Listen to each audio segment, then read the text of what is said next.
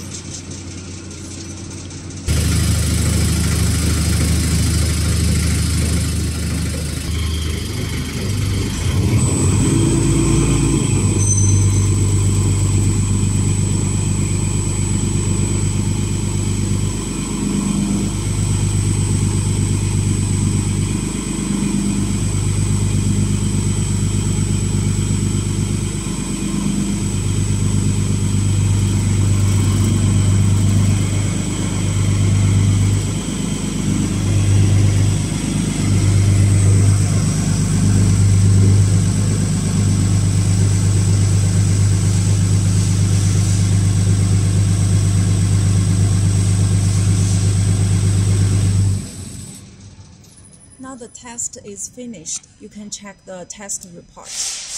Also, you can print this test report with the printer.